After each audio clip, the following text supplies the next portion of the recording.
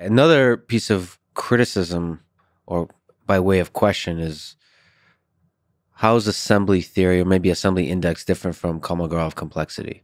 So, for people who don't know, Kolmogorov complexity of an object is the length of a shortest computer program that produces the object as output. Yeah, I'm. I I seem to. There seems to be a disconnect between the computational approach. To, so yeah, so a mm-hmm. Kolmogorov measure requires a Turing machine, mm-hmm. requires a computer, um, and that's one thing. And the other thing is, um, assembly theory is supposed to trace the process by which life evolution emerged. Right, mm-hmm. there's a main thing there. There are lots of other layers. So, so Kolmogorov complexity, you can you can approximate Kolmogorov complexity, but it's not really telling you very much about the actual. Um, it, it's really telling you about like your data, your data set compression of your data set. Sure. And so that doesn't really help you identify the the turtle in this case is the computer.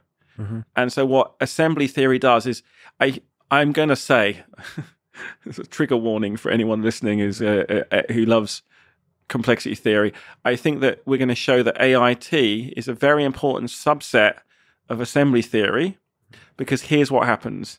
That um, I think that it, assembly theory allows us to build, um, go understand when with selections occurring.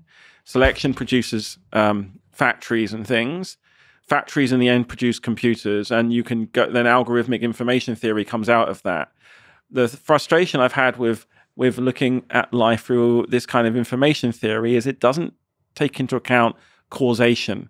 So the main difference between yeah. assembly theory and all these complexity measures is there's no causal chain. Yeah. In, and, and, I think that's the main. As the causal chain is at the at the at the core of uh, assembly theory. Exactly, and if you're in, if you've got all your data in a computer memory, all the data is the same. You can access it in the same way. There's you don't care. You just compress it, and and uh, you either look at the program runtime mm-hmm. or the shortest program, and that for me, uh, it can it, it is absolutely not capturing what it is, what its selection does. But, but assembly theory looks at objects. It, it doesn't have information about the object history, it's going to try to infer that history by uh, looking for the shortest history, right? Like so, the object, the object doesn't like uh, have a a Wikipedia page that goes with it. Oh, about I would, its history. I would say it does in a way, and it is fascinating to look at. So you've just got the object, mm-hmm. and you have no other information about the object. What assembly theory allows you to do with just with the object is to and the, and the the word infer is correct. I agree with infer. So you like say, well, that's not the that's not the history, but but something really interesting comes from this. The shortest path is inferred from the object. Mm-hmm. That is the worst case scenario if you have no machine to make it. So that tells you about the depth of that object in time. Mm-hmm. And so, what assembly theory allows you to do is, without considering any other circumstances, to say from this object, how deep is this object in time? If um, we just treat the object as itself without any other mm-hmm. any other constraints. And that's super powerful because the shortest path then says allows you to say, oh, this object wasn't just created randomly, there was a process. And so assembly theory is not meant to, you know, one up AIT mm-hmm. or to ignore the factory. It's just to say, it's just to say, hey, there was a factory. Mm-hmm. That and how but, big was that factory, and how deep in time is it? Mm-hmm. But it's still computationally very difficult to compute uh, that history, right, for complex objects. Like we, it, it is. It becomes harder. But one of the things that's super nice is that um, it constrains your initial conditions, right? Sure. It constrains where you're going to be. So if you take, say, imagine.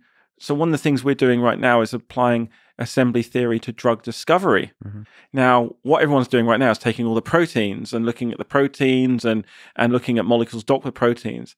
Why not instead take the mo- look at the molecules that are involved in interacting with the receptors over time, mm-hmm. rather thinking about and use the molecules evolve over time as a proxy for how the proteins evolved over time, mm-hmm. and then use that to constrain your drug discovery process. You flip the problem 180 and focus on the molecule evolution mm-hmm. rather than the protein.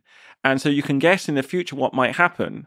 So that so that so you rather than having to consider all possible molecules, you know where to focus.